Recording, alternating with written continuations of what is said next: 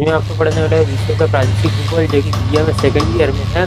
जो कि second year में पहला चैप्टर है तो बुक का नाम है विश्व का प्रादेशिक भूगोल में पहला चैप्टर है जापान की एशिया में भौगोलिक अस्थिति एवं विस्तार। तो उसका पहला चैप्टर है तो जापान के बारे में पहले देख लेते हैं कि जापान विश्व में, विश्व विश्व के मानचित्र में किस तरीके से दिखता है? तो विश्व मानचित्र पर कहाँ पे स्थित है? तो जापान एशिया एशिया के पूर्व में स्थित है। जापान कहाँ पर स्थित है? एशिया के पूर्व में स्थित है। तो जापान किसका पार्ट है? तो जापान एशिया महाद्वीप का पार्ट है एक तो जापान किसके जापान किसके अंतर्गत आता है? तो जापान किसके अंतर्गत आता है? जापान एशिया महाद्वीप के अंतर्गत आता है। तो जापान चापाकार आकृति में, इसे चाँद की आकृति भी कह सकते हैं। चाँद की आकृति ये वाला जापान तो चाँद की आकृति में फैला हुआ है जापान। और जापान एक द्वीप समूह है, जो कि तीन हज़ार नौ सौ द्वीपों से मिलकर बना है। जिसने तीन हज़ार तीन हज़ार नौ सौ द्वीपों से मिलकर एक द्वीप समूह बना है। तीन हज़ार नौ सौ और जापान और एशिया के बीच, एशिया और जापान के बीच में जो भाग आता है, उस भाग को क्या कहते हैं? उस भाग को जापान सागर कहते हैं। उस भाग को क्या कहते हैं? जापान सागर।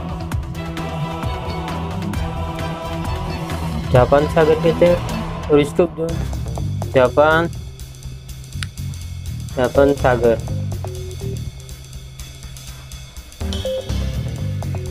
जापान सागर और एशिया एशिया और जापान के बीच में जो दूरी है, जो कितना दूर है, उसकी दूरी है तो वो एक सौ पिचासी किलोमीटर। एक सौ पिचासी किलोमीटर दूरी है इसके। जापान के जो पूर्व में जो भाग आता है, उसको क्या कहते हैं? प्रशांत महासागर। जो ये भाग है, उसको क्या कहते हैं? प्रशांत महासागर। प्रशांत महासागर।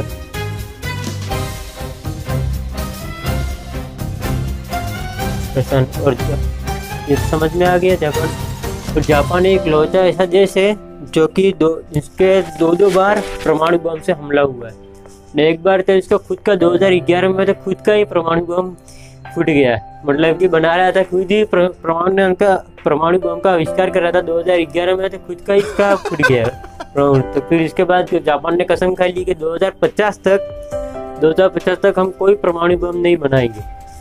तो इसके बाद चलिए, ये देख लेते कि कहाँ कहाँ पर परमाणु बम हमला हुआ। तो सबसे पहले ये देख लेते हैं जापान पे कहाँ कहाँ परमाणु बम हमले।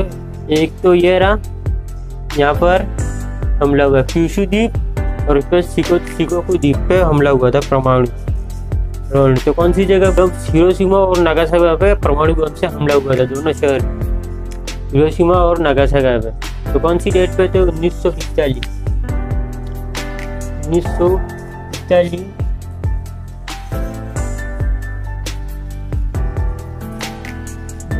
तारीख कौन सी डेट? सबसे पहले पाँच तारीख को, पाँच अगस्त।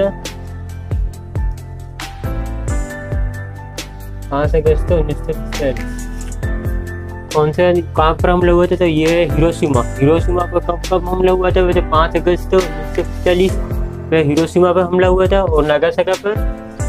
नागासागा पर कब हमला हुआ था? नागासागा में नौ तारीख नौ अगस्त को।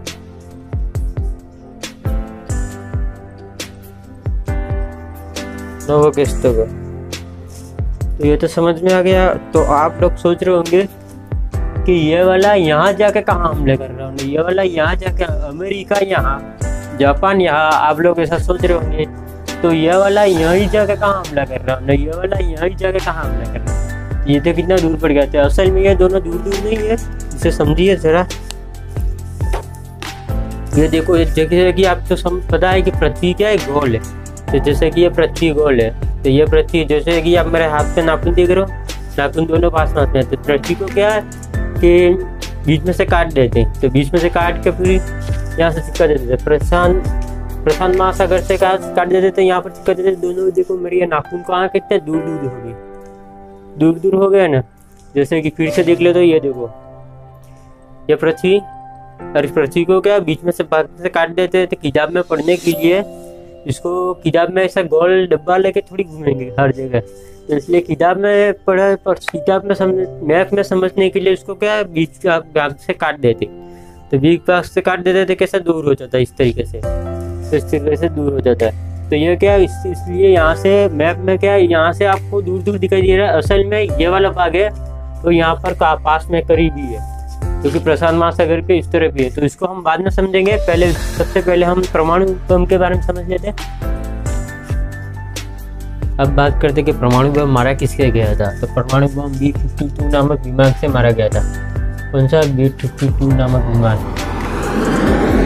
बी फिफ्टी टू विमान, यही विमान है जो कि आज भी हमला करता है। ये पूरा आठ इंजन का आठ इंजन का विमान है। इसे मारा गया था तो देख लीजिए।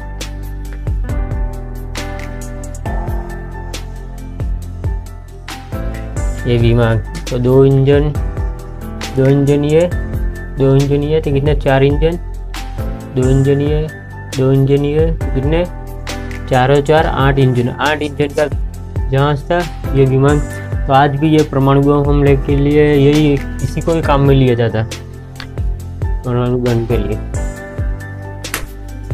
आप मैं आपको फुल स्क्रीन में भी बता देता हूँ एडिटिंग एडिटिंग जाकर देख लीजिए फुल स्क्रीन में परमाणु को देख लीजिए।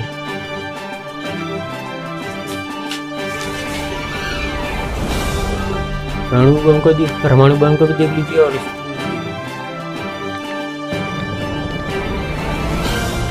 सब हम सबको लगता है कि परमाणु बम खतरनाक है। परमाणु बम खतरनाक नहीं होता, प्रयाग वो हम सब तो परमाणु बम एक तरह का प्रदूषण है। कोरोना क्या है? प्रदूषण है। तो परमाणु बम की एक तरह का प्रदूषण है। जो कि कोरोना क्या है कि हमसे, आपसे पहले, आपसे उससे पहले और सबकी जान ले लेगा उसी प्रकार उसी प्रकार से कोरोना, उसी प्रकार से परमाणु क्या है, एक तरह का प्रदूषण है, जो कि इसका रेडिएशन जो कि हवाओं में फैल जाता है तो हज़ारों सालों तक इसका असर रहता है। परमाणु बम का जो रेडिएशन होता है, वो कोरोना से भी छोटे होते कोरोना से भी रेडिएशन छोटे होते तो जिससे अगर मान लीजिए किसी ने, किसी आदमी ने इसको सुन लिया तो ये नॉर्मल लगेगा कुछ समय के लिए। लेकिन दो से तीन दिन के बाद उसका फेफड़ा किडनी वगैरह सब कुछ सड़ जाता है। मान के चलिए कि परमाणु बम अपने यहाँ फट जाता है। डूंगरपुर में डूंगरपुर में फट जाता है। तो उसके आसपास के शहर, जैसे कि गुजरात हो गया, बांसवाड़ा हो गया, उदयपुर, इस सब में क्या दो से तीन तीन से चार दिन के बाद सब लोग क्या परमाणु बम के कारण से मरने लगेंगे। तो इससे क्या तीन से चार दिन के बाद। हम लोगों को लगता है कि परमाणु बम फटेगा तो तबाही मचाएगा, बहुत सारा आग निकली। तो जी हाँ जहाँ पर परमाणु बम फटता है वहाँ पर आग निकलती है और पाँच मिनट, पाँच किलोमीटर के एरिया में सीधा डायरेक्टली डैमेज करेगा। लेकिन हाँ उससे ज़्यादा नहीं करेगा। लेकिन जो ज़्यादा खतरा होता है, वो परमाणु बम के तीन दिन के बाद आता है। तो परमाणु बम के सीधा बम से हमला डायरेक्ट डैमेज करता है उस समय हमला बहुत कम होता है, लेकिन जो ज़्यादा से ज़्यादा लोग मरते हो, परमाणु बम के प्रदूषण के कारण रेडिएशन में के कारण मरते ज़्यादा से ज़्यादा लोग। तो परमाणु बम क्या एक तरह का रेडिएशन तो कोई भी बीमारी हो तो उसको कम करने के लिए कोई ना कोई इसका इलाज तो होता है। तो उसके लिए परमाणु बम जहाँ पर चल गया, वहाँ पर क्या होता है कि boric boric acid boric acid acid का छिड़काव किया जाता है। इसका बोरिक एसिड का लेकिन हाँ ये जान रखे कि जो भी आदमी बोरिक एसिड का छिड़काव करता है, वो वाला डॉक्टर होना चाहिए। वो ऑटोमोबाइल वाला अलग ही डॉक्टर होता है। तो बोरिक एसिड का छिड़काव किया जाता है। और जहाँ भी परमाणु बम चला, वहाँ पर क्या है? पोटेशियम पोटेशियम पोटेशियम आयोड, आयोडाइड की गोली दी जाती है। जहाँ पर इससे क्या परमाणु जो रेडिएशन से जो खतरा है ना, वो थोड़ा कम हो जाता है। पोटेशियम आयोडाइड की गोली दी जाती है, जहाँ पर भी जो हमला हुआ था, वहाँ पर कुछ कुछ आसपास के जैसे कि मान लीजिए डूंगरपुर में परमाणु बम हमला हुआ तो क्या बांसवाड़ा बांसवाड़ा हो गया, सागवाड़ा हो गया तो उस एरिया में क्या है, पोटेशियम आयोडाइड की गोली दी जाएगी। तो बोरिक बोरिक एसिड का छिड़काव किया जाता है। और दूसरा, प्याज अगर बोरिक एसिड नहीं मिल जाता है प्याज क्या होता है कि परमाणु के रेडिएशन को सोख देता है। तो परमाणु रेडिएशन का सोख देता है तो ये भी बचने का एक तरीका है, प्याज भी। लेकिन ये देसी तरीका है, लेकिन इसकी जो तरीका है, वो पोटेशियम आयोडाइड की गोली और दूसरा, या बोरिक बोरिक एसिड का छिड़काव किया जाना चाहिए। जो सबसे ओरिजिनल तरीका है। और प्याज थोड़ा एक जो अच्छी तरीके से प्याज का होता है कि रेडिएशन को सोख लेता है बस इतना ही काम होता है इसका। इसे पूरी तरीके से ख़त्म नहीं होता। मान के चलिए कि आपके तीस तीस चालीस किलोमीटर के एरिया में तीस चालीस किलोमीटर के एरिया में अगर परमाणु बम चल गया तीस चालीस किलोमीटर के एरिया में तो आपको क्या करना चाहिए? सबसे पहले दो से एक एक से दो सप्ताह तक आपसे घर से बाहर नहीं निकलना चाहिए। और दूसरा अगर प्या, प्याज वगैरह है तो इसका छोल के इसके पुलिस वगैरह उठा के अगल बगल में रख दीजिए। और पानी की बोतल हो तो पानी की बोतल एक किताब वगैरह सब साथ में रखते। उसके बाद दो सप्ताह तक घर से बाहर नहीं, खिड़की वगैरह सब कुछ बंद कर दीजिए। तो दो सप्ताह तक। किसी के कहने पर नहीं, शुद्ध खबरें मिलती जिससे क्या सुनने से तो पता नहीं चलेगा, लेकिन वास्तव में दो से तीन दिन के अंदर आपका फेफड़ा वगैरह सब कुछ सड़ जाता। है ये क्या हवाओं में फैल जाता है? ये क्या एक तरह का प्रदूषण है?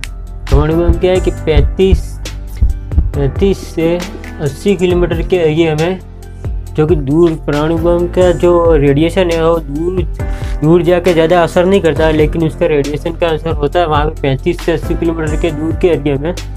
क्या होता है कि वो डी, हमारे शरीर में, हमारे शरीर कोशिकाओं से बना हुआ है। तो कोशिकाओं में क्या होता है? डीएनए होता है। डीएनए तो हमारे शरीर में क्या कोशिका में डीएनए होता है। तो डीएनए में डीएनए में यह क्या करता है? हमारे शरीर के कोशिकाओं से बना हुआ है तो कोशिकाओं में क्या डीएनए होता है? डीएनए में जाकर ये इसमें तो इनमें से एक को मार देता है। एक को उड़ा देता है। तो ये डीएनए का काम होता है कि एक काम एक का काम होता है, हाथ बनाना, पैर बनाना, वगैरह वगैरह काम हो जाए इसका। एक का आग वगैरह बनाना। तो एक को एक को उड़ा देता है। तो मान के चलिए कि किसी का एक उड़ा दिया।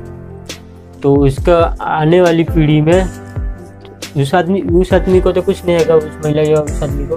लेकिन उसकी आने वाली पीढ़ी में क्या होगा?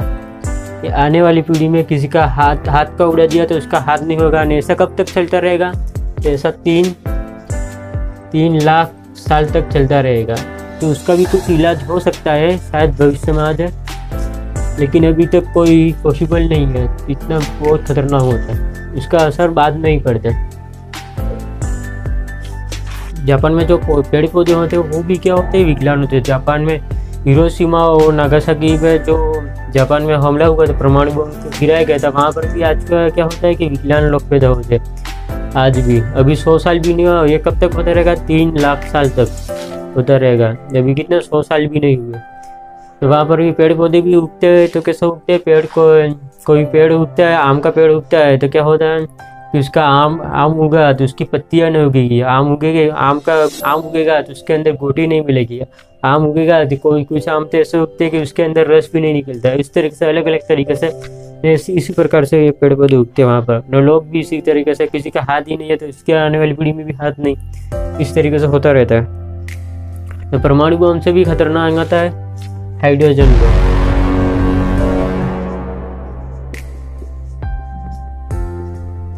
परमाणु बम से भी खतरनाक कौन सा? Hydrogen bomb. यह क्या करता है? ये मात्र 20 किलोमीटर के एरिया में डायरेक्ट डैमेज कर देता है। 20 किलोमीटर के एरिया में डायरेक्ट सीधा आग से डैमेज कर देता है। लेकिन इससे क्या? प्रदूषण नहीं निकलता। जैसे धुआँ धुआँ हो जाता है, लेकिन उससे क्या? यह प्रदूषण से लोगों को नहीं करता लेकिन परमाणु बम क्या है कि प्रदूषण से लोगों से मारता था रेडिएशन के लोग रेडिएशन से। इसलिए परमाणु बम ज़्यादा खतरनाक कहला है, लेकिन शक्तिशाली कौन सा है? Hydrogen bomb. ज़्यादा शक्तिशाली। और इससे भी खतरनाक आता है नाइट्रोजन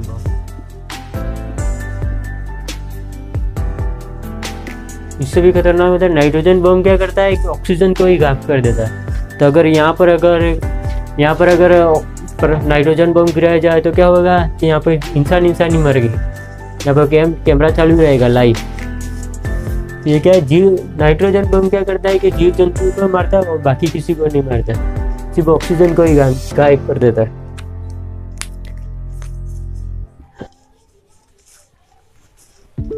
अब समझते हैं, अब समझते हैं पूरी डिटेल में कि परमाणु बम कहाँ पर मारा गया था? जापान में। तो ये रहा जापान।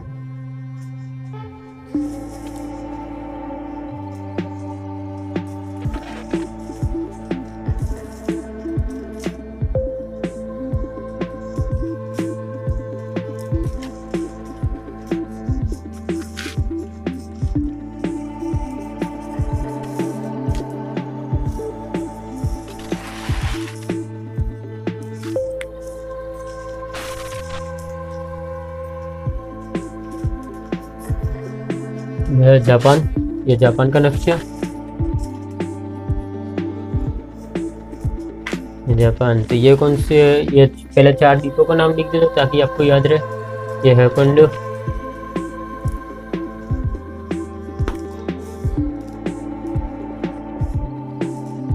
ये होन्सू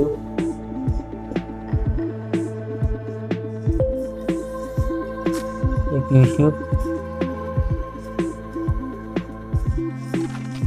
ये शिकोकू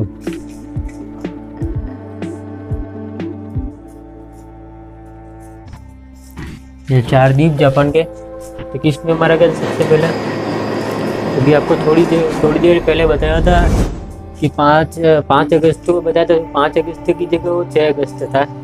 थोड़ी गड़बड़ी हो गई थी। तो सबसे पहले मारा गया था? थोड़ी गड़बड़ी हो गई थी। सबसे पहले सबसे पहले किस पे मारा गया था?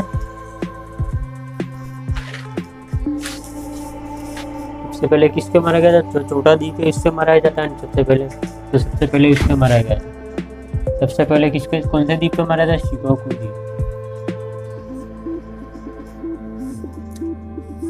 ये किस मारा गया था? हिरोशिमा।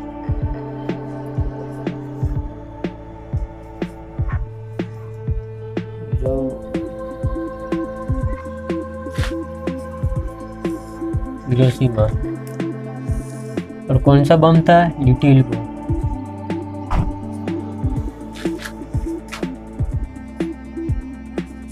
Little Boy.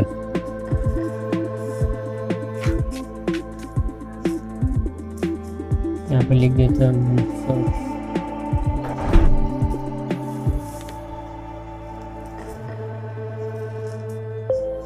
एक सौ पिस्तालीस। यहाँ पर छः अगस्त था। वैसे छः अगस्त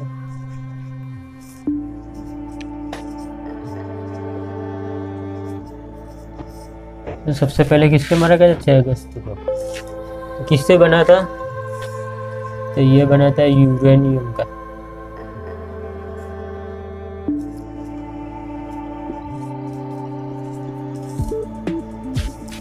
ये किसका बना था? यूरेनियम का।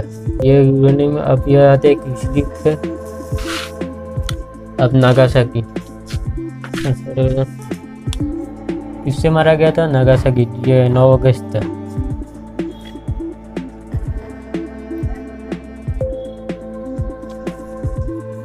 नागासाकी कौन सा दीप है यहाँ पे दीप भी लिख देते कीशु कीशु द्वीप पे मारा गया था। तो ये किससे. ये कौन सा बम था परमाणु? तो फैटमैन।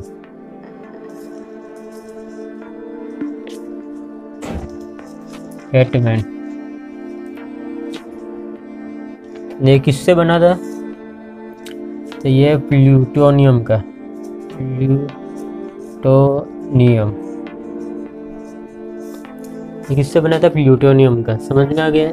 अब ये तो याद से रहने वाला है नहीं, इसलिए मैं आपको कुछ तरीका बताता जुगाड़। यहाँ पर बुढ़ा चाचा अब देखिए।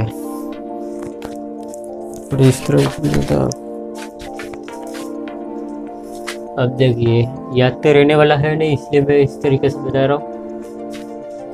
इसलिए सबसे पहले एबीसीडी में कौन सा पहला अक्षर आता है? तो एच एच तो सबसे पहले किस पे मराया गया था? देखिए, इस तरीके से नहीं समझ में आ गया, आपको मैं बता रहा हूँ। सबसे पहले कौन सा आता है? छः। फिर उसके बाद नौ। यह समझ में आ गया? सबसे पहले किस पे मारा गया था? एबीसीडी पे कौन सा अक्षर आता है? पहले एच हिरोशिमा। उसके बाद नागासाकी। तो याद रहेगा फिर उसके बाद कौन सा बड़ा द्वीप है? बड़ा द्वीप कौन सा है? और छोटा द्वीप कौन सा आता है पहले कौन सा आएगा? छोटा द्वीप। तो छोटा द्वीप है तो कौन सा? कृषि द्वीप। कौन सा? शिकोकू द्वीप, छोटा है। ये कृषि द्वीप, बड़ा है। शिकोकू द्वीप। पहले कौन सा द्वीप पे मारा गया था? शिकोकू फिर उसके बाद कृषि जो पहला पहला छोटा द्वीप बड़ा द्वीप फिर इसके बाद। पहले कौन आया? Little Boy. पहले कौन सा बम मारा गया था? Little boy. लिटिल के लिए ठीक है, फिर उसके बाद Fat Man. Little Boy, Fat Man. Little Boy मतलब अच्छा। फैट मैन मनी बड़ा। मैन का मतलब तो आप जानते हो, अमेरिका में स्पाइडरमैन सुपरमैन वगैरह होता ही रहता है। ये मैन हो गया।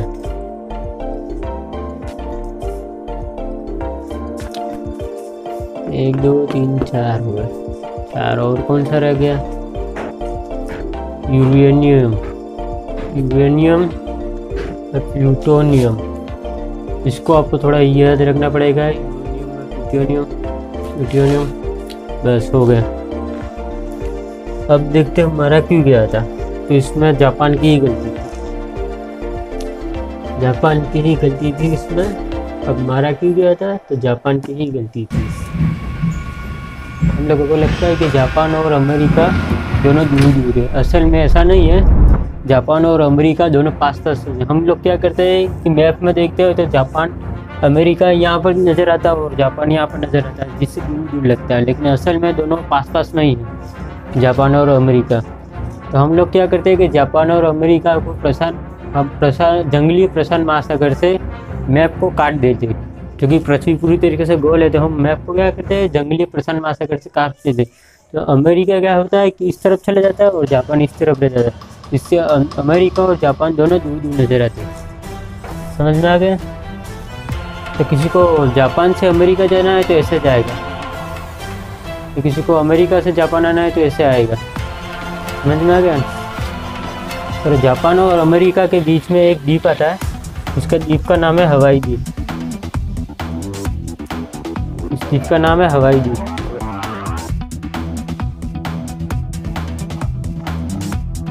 हवाई द्वीप। उसकी राजधानी है हनोनोलो। हनोलुलु भी कह सकते हैं। की राजधानी तो अमेरिका ने क्या किया कि इस हवाई द्वीप पर अपने नौसेना का अड्डा जमा दिया। यहाँ पर अपना नौसेना का अड्डा जमा दिया। जापान ने देखा जापान ने देखा कि इस, यहाँ से हम पे हमला करेगा। इस नौसेना से हम, इस हवाई द्वीप से साला हम हम पे हमला करेगा जापान अचानक से सात दिसंबर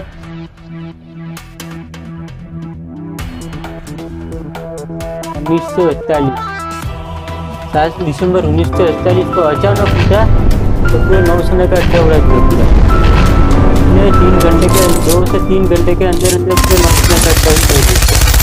इनमें से दो सौ लड़ाकू लड़ाकू जहाज़ों को उड़ा दिया और अस्सी अस्सी पानी वाली जहाज़ों को उड़ा दिया। और दो से तीन, दो से तीन हज़ार, दो से तीन हज़ार अमेरिका की अमेरिका के सैनिकों को उड़ा दिया? सबको मार गिरा है यहाँ पर। तो अमेरिका ने कहा है कि, अरे साला, हम पे कहीं का हमला किया? तो जापान ने कहा, जापान ने कहा कि तुमको हमला करना मजबूरी था। तो अमेरिका ने कहा कि क्या मजबूरी था? तो जापान ने कहा कि तुम कहीं का इतना इतना जल्दी से डेवलप कर रहा था तो हम तुमसे तुम, हम तुमसे डेवलप करते तो हम तुम्हारे बराबर ही थे। अगर हम, हमने सोचा कि तुमको पीछे खींच देंगे और हम आगे निकल जाएँगे। तो इसलिए हमने आपको उड़ा दिया। तब हम आपको, आपसे आगे निकल गए। अमेरिका ने कहा कि आप अब तुम्हारी, तुमको इसकी कीमत चुकानी पड़ेगी। तो जापान ने कहा कि, जापान ने कहा कि जाओ, कीमत चुका लेंगे। क्या कर लोगे? तोपे गोला चलाओगे? बंदूक गोला चलाओगे? ये तो जापान के जापान के अमेरिका से बिल्कुल नहीं डरता है। जैसे कि भारत भारत अगर श्रीलंका वाले कहे कि अगर हम भारत पे हमला कर देंगे भारत वाले क्या करेंगे? पेड़ों से कुचल देंगे। तो उसी प्रकार से अमेरिका ने कहे कि हम अंदर अमेरिका में घुस कर भी मारेंगे अगर ज़्यादा कुछ बोला तो अमेरिका चुप हो गया। तो अमेरिका ने अमेरिका के वैज्ञानिकों ने इतने में बना दिया परमाणु बम क्योंकि पूरी दुनिया में परमाणु बम के बारे में कोई नहीं जानता था अमेरिका ने परमाणु बम बना दिया, जो कि 6 अगस्त 6 अगस्त और 9 अगस्त को उन्नीस सौ चालीस छः अगस्त और नौ अगस्त को अचानक से इस पर हमला किया। एक हिरोशिमा और नागासाकी पे अचानक हमला किया। किसने किया? तो अमेरिका ने, अचानक से। और तो अमेरिका ने कहा कि अपना सर अंदर कर, नहीं तो हम टोक्यो पे मारेंगे? तो अमेरिका ने तो जापान ने अपना सर अंदर कर दिया और जापान ने कहा कि युद्ध से किसी का, जापान ने उसी समय कहा कि युद्ध से किसी का फ़ायदा नहीं होता तो हम अपनी सेना ही नहीं रखेंगे। तो अमेरिका ने कहा तो ठीक है ठीक है। अमेरिका ने कहा तो ठीक है ठीक है, आप अपनी सेना मत रखिए, हम हमारी हम हमारी सेना रखेंगे। तो हम सुरक्षा, अगर अमेरिक जापान ने कहा था कि हमारी अगर कोई देश हमारी हमारी सुरक्षा की गारंटी देता है तो हम कोई सुरक्षा को, हमारी हमारी सुरक्षा को, अगर कोई देश हमारी सुरक्षा की गारंटी देता है तो हम उसको अपनी सेना सेना पे, बॉर्डर पर रखेंगे। तो इसने इतने में अमेरिका ने कह दिया कि हम, ठीक है ठीक है, हम आपको टोक्यो पे नहीं मारेंगे वैसे टोक्यो पे मारने जा रहा था पंद्रह अगस्त को। पंद्रह अगस्त को टोक्यो पे मारने जा रहा था। तो टोक्यो पे नहीं मारेंगे, हम अपनी सेना रखेंगे। तो जानते हो जापान, अमेरिका ने ऐसा क्यों कहा? तो अमेरिका ने ऐसा इसलिए कहा कि यहाँ से हम रूस को दबा देंगे और यहाँ से चीन को, यहाँ पर भारत को देख लेंगे। तो उस समय क्या चल रहा था? विश्व युद्ध चल रहा था। तो यहाँ पर तो इसलिए आज भी आप देखोगे तो जापान में अपनी, जापान के पास अपनी फौज नहीं है। यहाँ पर अमेरिका की सेना है जापान की सुरक्षा की गारंटी कौन देता है? तो होगा अमेरिका, आज भी। तो जब अमेरिका अमेरिका को 15 अगस्त को आज़ादी मिली यहाँ पर यहाँ पर अपनी सेना रखने के लिए तो इसलिए भारत को आज़ादी का, अंग्रेज़ों ने भारत को आज़ादी देने का समय कब रखा? तो पंद्रह अगस्त को, इसीलिए।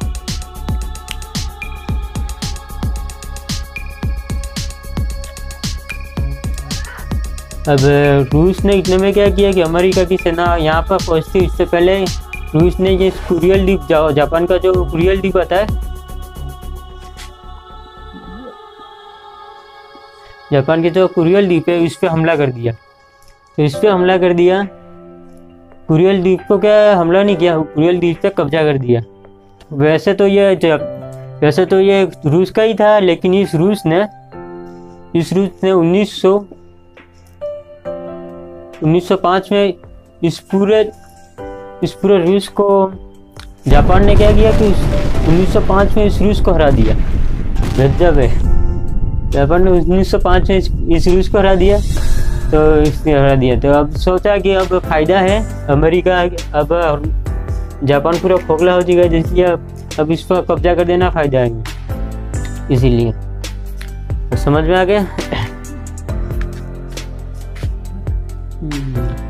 अब रह गया है क्या? टोक्यो अगर अमेरिका अमेरिका अगर परमाणु बम नहीं होता तो आज पूरी दुनिया में हिटलर का जर्मनी और हीरो का जापान पूरी दुनिया पे राज कर रहे थे।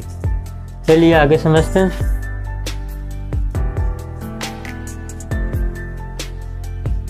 जापान की सबसे बड़ी झील कौन सी है?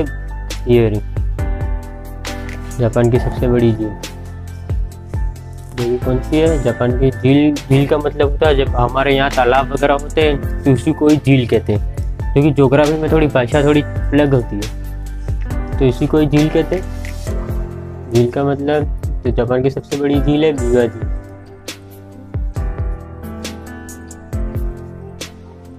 बीवा झील। अगर आपको उसको मैप में देखना है तो क्या लिखना पड़ेगा? इस तरीके से लिखना पड़ेगा। डब्ल्यू ए बीवा झील ठीक है बीवा झील कितनी, कितने किलोमीटर लंबी है? ये बीवा झील है छः सौ सत्तर तीन वर्ग किलोमीटर। बीवा झील के बारे में तो हो गया पूरा कंप्लीट अगर गूगल मैप में लिखना है तो इस तरीके से लिखना पड़ेगा, जो अंग्रेज़ी में लिखा इस तरीके से। तो इसके बाद सबसे लंबी नदी, जापान की सबसे लंबी नदी कौन सी है? आप बताइए कमेंट में। जापान की सबसे लंबी नदी है सीनारू नदी। सीना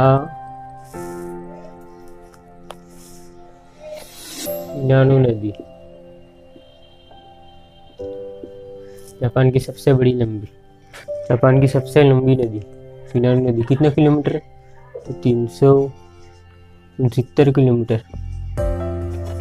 तीन सौ उनसत्तर किलोमीटर लंबी है। अगर उसको गूगल मैप में देखना है, लिखना है तो इस तरीके से लिखोगे।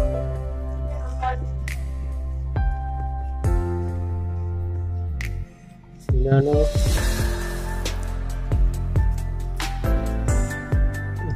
है। इस तरीके से लिखो। गूगल मैप में अगर आपको ये नदी देखनी है तो इसको।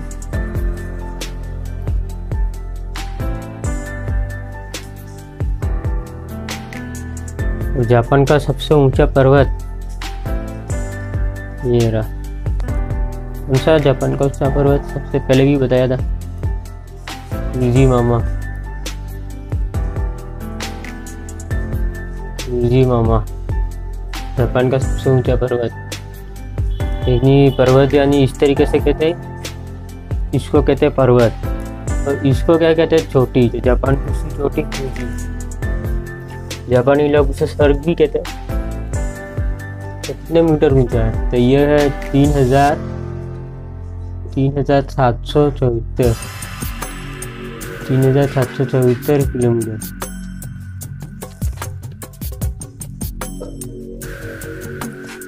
अब अगर इसको गूगल मैप में लिखना है तो इस तरीके से लिखोगे। माऊ तो फूजी इतना लिखने से आपको गूगल मैप में मिल जाएगा। आप इस पहाड़ को देख सकते हैं। माउंट फूजी अगर फूजी मामा लिखेगा तो नहीं आएगा।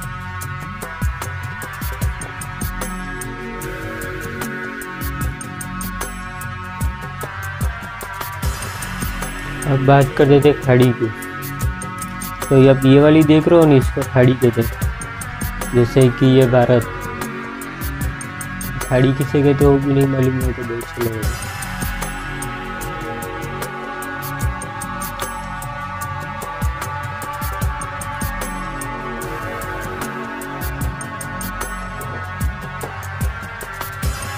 जैसे कि ये देख रहे हो भारत तो भारत को क्या ये इसे कहते हैं, बंगाल की खाड़ी तो जिस जहाँ पर एरिया इस तरीके से समुद्र का पानी रुक जाता है तो उसको क्या कहते हैं, खाड़ी कहते हैं। तो जापान की सबसे, जापान की सबसे बड़ी खाड़ी कौन सी है?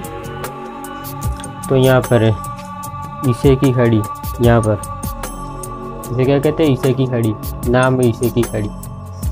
ईसे की खाड़ी। जहाँ पर एरिया इस तरीके से पानी समुद्र का रुक जाता है जहाँ पर गहरा हुआ बना हुआ रहता है तो वहाँ पर इस, इसको खाड़ी कहते हैं। ईसे की खाड़ी समझ में आ गया? कितने किलोमीटर ईसे की खाड़ी? फिर से लिख देता हूँ। ईसे की ये ईसे की नाम है इसका। ईसे की खाड़ी। ईसे की खाड़ी कितना किलोमीटर है? तो ये है सौ अड़तीस, एक हज़ार सात सौ अड़तीस किलोमीटर, वर्ग किलोमीटर। ये तो समझ में आ गया। और जापान की सबसे बड़ी जनसंधि कौन सी है? तो सबसे बड़ी जनसंधि है यहाँ पर। जापान की सबसे बड़ी जनसंधि यहाँ पर कौन सी? सुगारू सुगारू पहली बात तो यह जल संधि किसे कहते हैं? जल जल संधि किसे कहते हैं? तो जल संधि उसे कहते हैं जहाँ पर एक द्वीप से दूसरे द्वीप में जो पानी जाता है ना, समुद्र का पानी जाता है तो महासागर का पानी जाता है उसके उसके बीच में जो गैप आता है तो जो ज़्यादा गैप आएगा ना तो उसको ही उसको ही बड़ी बड़ी जल संधि कहेंगे। तो जापान की सबसे बड़ी जल संधि कौन सी है? सुगारू। यहाँ पर कौन से थे? हेकंडो। हेकंडो और हँसी द्वीप में बीच में है। गया? अब बात कर लेते ये तो ये तो टोक्यो, जापान की राजधानी। टोक्यो। ये तो समझ में आ गया जापान की राजधानी कौन सी है टोक्यो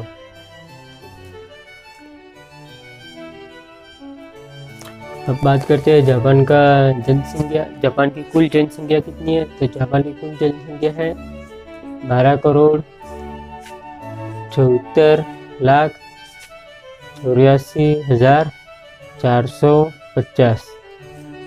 जापान की कुल जनसंख्या जापान का कुल क्षेत्रफल तो जापान का कुल क्षेत्रफल है तीन लाख सतहत्तर हज़ार सात सौ सत्ताईस जापान का कुल क्षेत्रफल तीन लाख सतहत्तर हज़ार सात सौ सत्ताईस और जापान का और जापान का घनत्व कितना है? घनत्व जापान का घनत्व कितना है? तो जापान का घनत्व है प्रति वर्ग किलोमीटर 350 350 प्रति वर्ग किलोमीटर।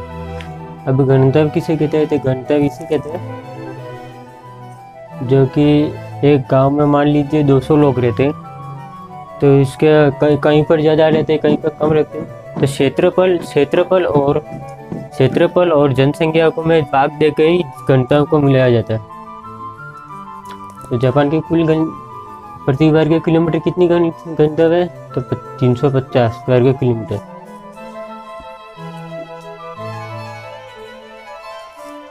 बात करते हैं प्रतिशत के बारे में जापान का धर्म।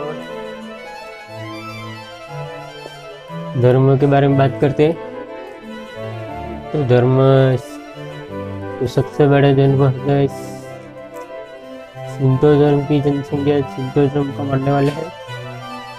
सिंटो धर्म है कितना? इक्यावन प्रतिशत। इक्यावन पॉइंट वन बौद्ध धर्म वो द्रम है चौंतीस प्रतिशत। उसके बाद ईसाई धर्म ईसाई धर्म है तीन प्रतिशत। नहीं, तीन नहीं है। दो तीन प्रतिशत है। और बाकी अन्य धर्म है, अन्य धर्म चार पॉइंट सात प्रतिशत समझ में आ गया जापान की राष्ट्रीय स्थापना दिवस जापान की राष्ट्रीय स्थापना दिवस हुई थी ग्यारह ग्यारह फरवरी ग्यारह फरवरी छः सौ साठ ईसा पूर्व जापान की राष्ट्रीय स्थापना दिवस कौन कब बनाया जाता है? तो ग्यारह ग्यारह फरवरी छः सौ साठ ईसा पूर्व। अब समझ में गया। और इसके बाद वर्तमान वर्तमान संविधान दिवस। जापान का जो वर्तमान संविधान दिवस है कब से मनाया गया था? तो तीन तीन मई तीन मई उन्नीस सौ बावन से। कौन सा वर्तमान संविधान दिवस तीन मई उन्नीस सौ बावन।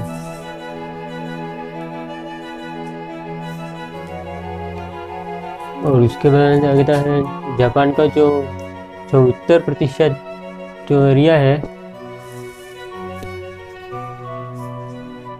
जापान का जो चौहत्तर प्रतिशत जो एरिया है, जो चौहत्तर प्रतिशत एरिया है, वो पहाड़ी है।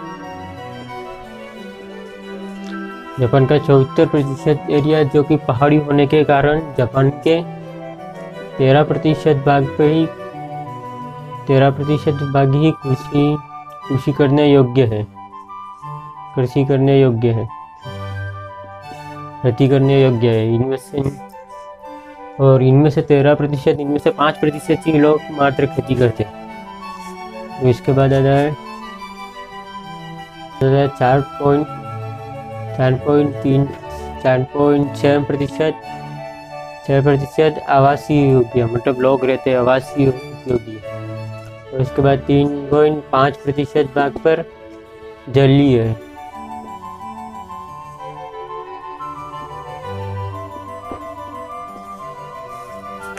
तो ये समझ में आ गया?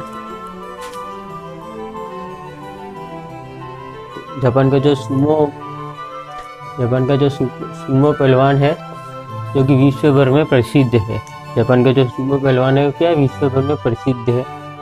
और जापान को उगता हुआ सूरज और कोकू निपुण ये कहा निप्पल निप्पल भी कहा जाता है, और जापान को पूर्व का ब्रिटेन भी कहा जाता है।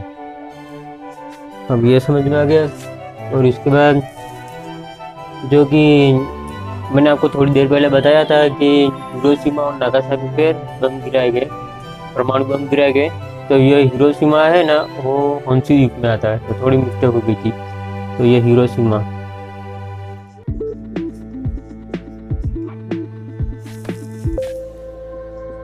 हिरोशिमा और नागासाकी। नागासाकी यहाँ पर आएगा।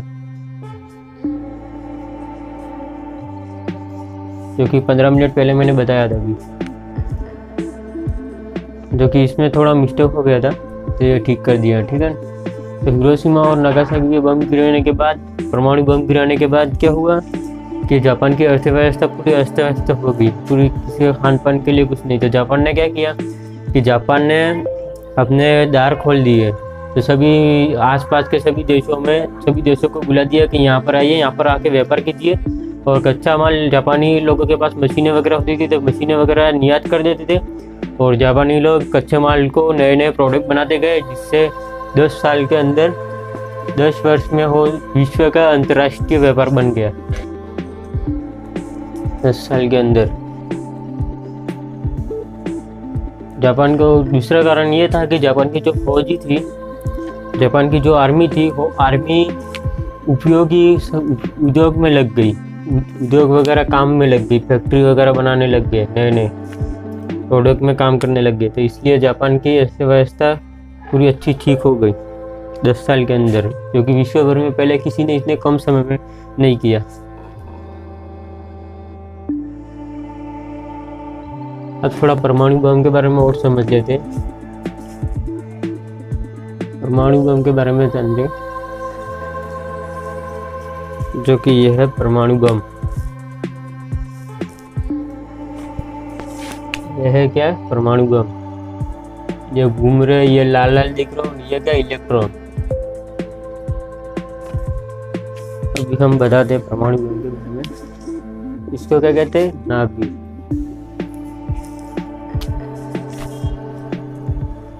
इसको नाभिक कहते और इसको इलेक्ट्रॉन इलेक्ट्रॉन और इसको कक्षाएँ कहते हैं। और ये जो बीच में है, इसको क्या कहते हैं? न्यूट्रॉन।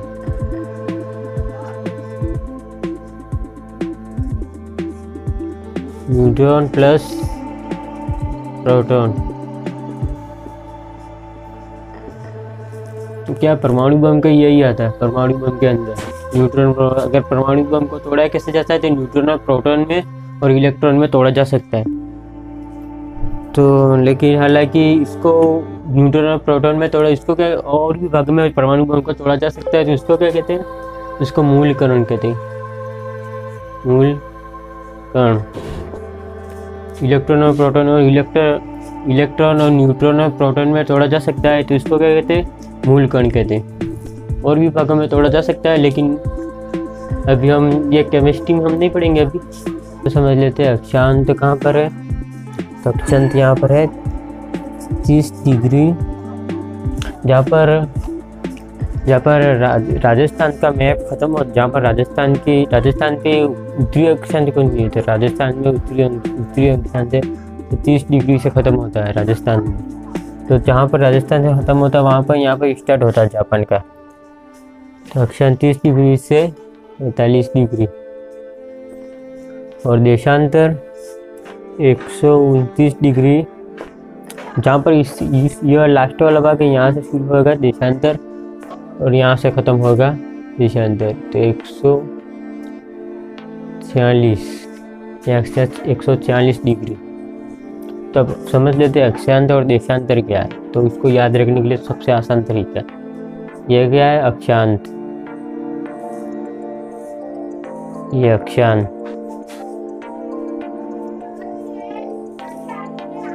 Radiation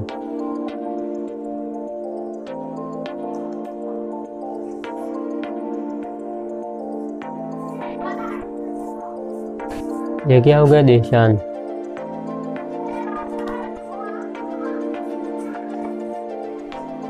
दक्षांत और देशांत तो देशांत तो रेखा कहाँ पर है? यहाँ पर। तो मान लीजिए यहाँ पर एक दो देते एक, दो, तीन, ऐसे गिनती लिख देते हैं। चाल, मान लीजिए पर एक, दो, तीन, चार, पाँच, छः, इस तरीके से। मैं यहाँ पर इस सारी रेखा को क्या करते हैं। यहाँ पर गिनती लिख देते हैं। एक, दो, तीन तीन तो इसमें मैप में जो भी आएगा तो कोई यहाँ पर खड़ा है। अक्षांत रेखा तो उसकी अक्षांत रेखा कौन सी एक, अगर यहाँ पर खड़ा है, फिर भी कौन सी होगी? एक। अब उसकी देशांतर रेखा बदल जाएगी। तो इसी प्रकार से जो कि राजस्थान और राजस्थान और जापान की जो अक्षांत रेखा है, वहाँ पर जहाँ पर राजस्थान की अक्षांत रेखा खत्म होती है, वहाँ पर वहीं से ही, या राजस्थान तो यहाँ पर जापान तो यहाँ पर यहीं से ही शुरू हो जाती है किसकी जापान की देशांत जापान की अक्षांत रेखा। और देशांत तो इस तरीके से, समझ रहे हो? तो समझ में आ गया देशांतर अक्षांत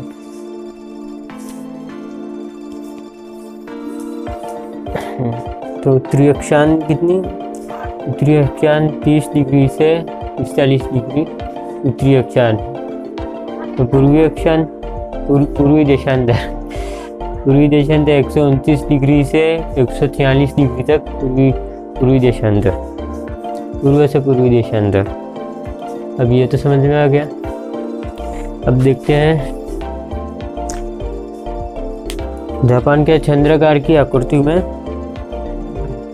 जापान के चंद्र का अर्ध, जापान अर्ध चंद्रकार की आकृति में फैला हुआ है, जो कि अर्ध चंद्र लगभग इतनी लंबाई है तो इतनी लंबाई है तो अर्ध चंद्रकार की तो 2000 2200 तिरपन किलोमीटर, तिरपन वर्ग किलोमीटर। इतनी लंबाई है उसकी अर्ध चंद्रकार की विस्तृत में फैला हुआ ये समझ में और जापान में वो सत्ताईस प्रतिशत जापान की जो सत्ताईस प्रतिशत जो मछलियाँ है, सत्ताईस प्रतिशत हो जो कि बाहर से निर्यात करती है। जापान में क्या है कि समुद्र से घिरा हुआ होने के कारण भी सत्ताईस प्रतिशत मछलियाँ बाहर से निर्यात करती है। और जापान में जो देखोगे तो खेती के लिए भी मछलियों को उपयोग में लाया जाता है और नालियों में भी देखोगे तो मछलियाँ, वहाँ पे लोग पता नहीं मछलियों को पालते अच्छे से, क्योंकि मछलियाँ क्या है, कीटाणु वगैरह को साफ़ कर देती है। चलिए अब आगे बढ़ते हैं। और जापान और जापान में क्या है कि तीन हज़ार तीन हज़ार नौ सौ द्वीपों में से, तीन हज़ार नौ सौ द्वीपों में से 340 द्वीप 340 द्वीप ऐसे जो कि एक वर्ग किलोमीटर से बड़े। एक वर्ग किलोमीटर से बड़े।